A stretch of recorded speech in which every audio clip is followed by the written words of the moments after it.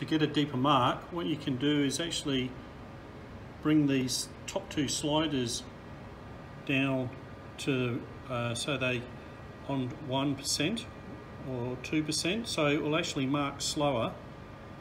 Um, you can bring your quality up a little bit or try it in the middle, but if you're getting dragging in between the letters, what this one down, is down here, this is how many dots it actually fires per um, millimeter. So you can bring this down and what it will do is it will actually stop it dragging in between the in between the letters, especially if you depending on what font that you've got it uh, set to. So the where you get to it is, you know, in one of your, in your block. So you've actually got to change it in every block. So depending on what font you've got it set to, um, this DPI makes a big difference if it drags in between.